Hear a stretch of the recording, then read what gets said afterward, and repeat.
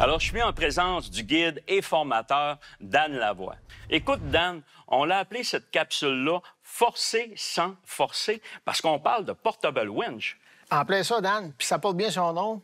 Écoute, je pourrais t'en parler et t'en reparler, mais au nombre de chasses à laquelle tu participes à chaque saison, tu dois sûrement avoir une des anecdotes à nous raconter à ce sujet-là. Ben écoute, c'est sûr que je participe à plusieurs chasses, donc j'ai l'occasion d'en voir de toutes les couleurs. Ça, je peux te le confirmé. Mais euh, je vais te parler d'une que j'étais avec le guide euh, Pierre Métivier, qui est un guide euh, à l'auberge Chic Choc. Mon ami Pierre arrive, il dit le 4 roues est sur une autre zone, fait que je ne sais pas de quelle façon qu'on va sortir ça. J'ai dit un instant, moi, j'avais un portable winch à l'intérieur de mon camion. On prend le portable winch, on l'installe, mais on n'avait pas de traîneau. Fait que j'ai dit, écoute, on va regarder voir de quelle façon qu'on pourrait le sortir.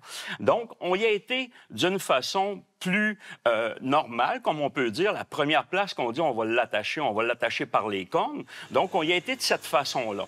Mais le désavantage de cette façon-là est peut-être qu'à l'occasion, on va être pris pour lever le corps pour pas que le panache pique dans les bois, dans la terre. Donc ça, c'est peut-être moins avantageux un petit peu. Mais l'autre façon, c'est de tout simplement faire des incisions au niveau des tendons, des pattes arrière. Donc, à partir de ce moment-là, on prend le corps, on attache les deux tendons des deux pattes et on sort ça par l'arrière. Donc, c'est vraiment plus facile, mais comme on dit, avec un portable winch, on est capable de sortir de toutes les situations. Ça, je te le confirme. Alors la prochaine fois, c'est pas toi qui poses les questions, c'est moi qui pose les questions.